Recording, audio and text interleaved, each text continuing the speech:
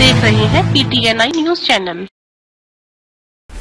Uttar Pradesh के जनपद अमरोहा की औद्योगिक नगरी गजरौला में स्थित एक निजी प्रतिष्ठान में जिला कांग्रेस कमेटी अमरोहा की मासिक बैठक का आयोजन कर कार्यकर्ताओं से विधानसभा चुनाव की तैयारी करने का आह्वान किया गया। बता दें कि जिला कांग्रेस कमेटी अमरोहा की मासिक बैठक के आयोजन के दौरान कांग्रेस के जिला अध्यक्ष ओंकार सिंह कटारिया ने पदाधिकारियों एवं कार्यकर्ताओं को विधानसभा चुनाव लड़ने के टिप्स दिए तथा उन्होंने बैठक में मौजूद पदाधिकारी एवं कार्यकर्ताओं से न्याय पंचायत स्तर तथा बूथ स्तर पर कमेटी गठित कर संगठन को मज़बूत करने का आह्वान किया।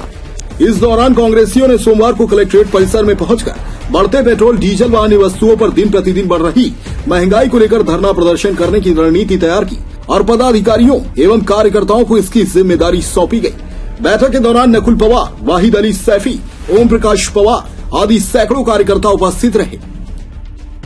न्याय पंचायत का संगठन बना है न्याय पंचायत के संगठन में एक ग्राम पंचायत से आपको पाँच आदमी करने हैं पाँच आदमी और पाँच आदमी में बता दे रहा हूँ आपको कौन करने हैं पर घर में बैठ के नहीं होंगे कार में बैठ के नहीं होंगे गाँव में जाना पड़ेगा आपको आप खुद लीजिए पहला जो प्रधान जीता है उसको आपके हाथ नहीं लगने वाला जो बीटीसी जीता है वो आपके हाथ नहीं लगने वाला।